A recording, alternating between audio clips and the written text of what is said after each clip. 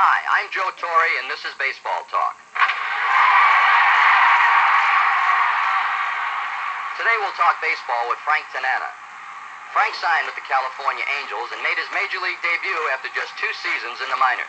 It was certainly a dream come true. I'd spent many nights uh, thinking about it, uh, wondering what it would be like, and then to finally have gotten there, it was it was that, and then some. Uh, to be able to play ball with guys and against guys that I'd read about in the newspapers, saw them on TV, and, and to be a part of that was was very exciting. There were many bright spots in Frank's seven seasons in California, but the brightest came on the night of September 25th, 1979.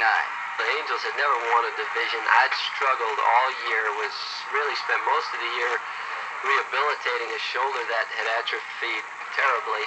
And it was that September, September day we were playing the Royals, and I got the call, and we win the game, we clinch it, and after that season of really being hurt all year to go nine innings and get the final out from uh, Rod Carew, put out at first base, and then the celebration was uh, was really a nice finish to real, what was a disappointing season for me personally, but a great season for the ball club and the first um, division win for the organization. Eight years after he pitched the Angels into the playoffs, he did the same thing for the Tigers.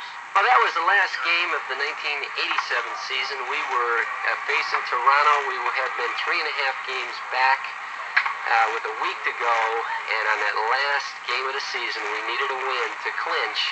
And I was on the mound for us and pitched a one to nothing shutout against Toronto against Jimmy Key, who pitched a great ball game himself. Thanks, Frank.